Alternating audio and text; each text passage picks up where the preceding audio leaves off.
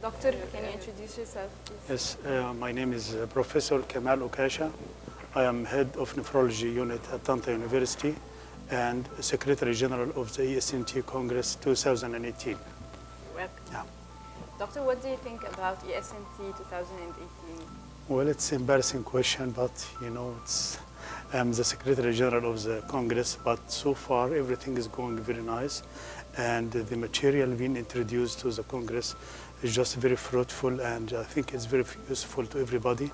We are just, uh, I mean, we are just uh, including all items of nephrology field, including the uh, awareness, including the management of the chronic kidney disease. Uh, we just are facing many problems in dialysis, transplantation, and glomerulonephritis. I mean, the some uh, inflammation of the kidneys, and we are just uh, introducing a very important issue to the junior nephrologist by uh, showing their work uh, in the master degree and their research of the young physicians, and we are preparing for prize for them.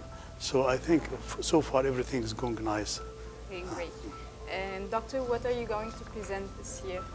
My uh, work, uh, I mean, my presentation this year is going to be uh, related to the AKI in ICUs and their management, which, I mean, management of patient with acute renal failure and the critical care uh, patient, elderly patient who are exposed to severe illness and being introduced, admitted to ICU, how to manage their fluid status in such patient. Yeah. thank you so much. You're welcome.